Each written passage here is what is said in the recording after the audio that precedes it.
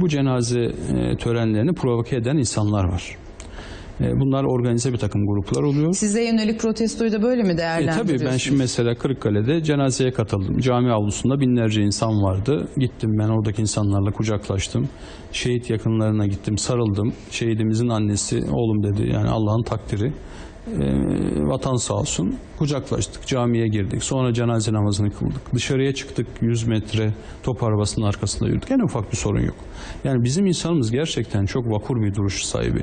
Ama arabaya binerken birkaç kişi milleti galeyana getirip bunlar da dediğim gibi örgütlü bir takım yapılar.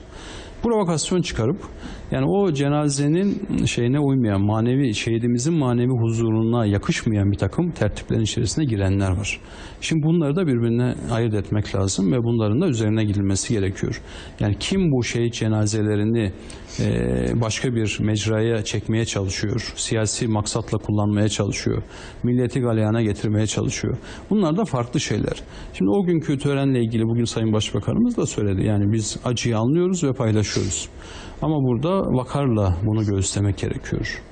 Özellikle o üniformanın gereğini de yapmak gerekiyor ve terör örgütünü sevindirmemek gerekiyor. Yani o görüntüler işte PKK'nın e, sitelerinde, manşet oldu, gazetelerinde kullanıldı vesaire.